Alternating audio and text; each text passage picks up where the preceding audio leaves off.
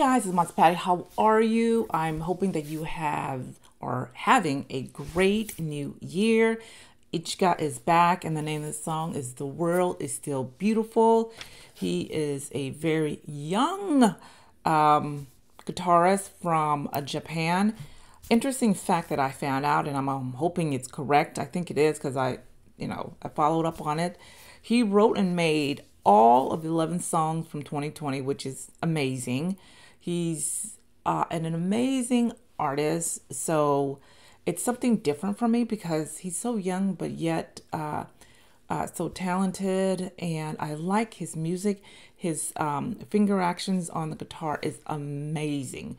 Ridiculous, ridiculous, amazing. So we're going to check this out once I get my headphones. There we go. Sorry about that. So let's check out The World is Still Beautiful. Here we go.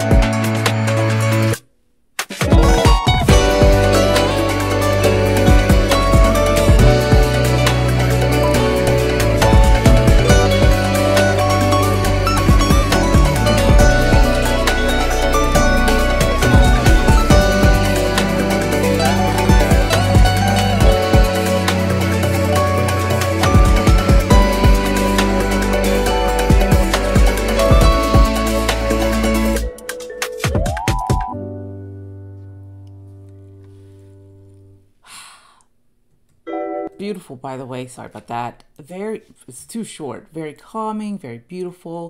And i liked uh, the way that his music uh, make me feel. By the way is was that uh, one of the guitar it looks like a tim um, henson guitar from polyphia um, let let me know it looks like it because i actually saw like the you know news that he came out with you know his own line which is wonderful. If those two would collab it would be great. By the way i didn't know that um Ichika had a degree in music and technology which hey phenomenal. Very very talented young man and i'm hoping to do a little bit more and learn a little bit more about him.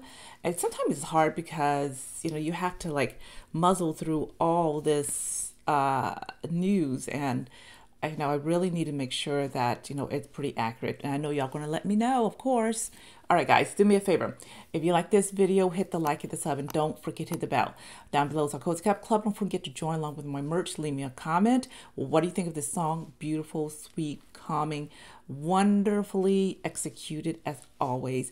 Other than that, oh, don't forget, uh, you'll start seeing him and me on the OPN network. Other than that, guys, I'll talk to you later. Ja, ma today.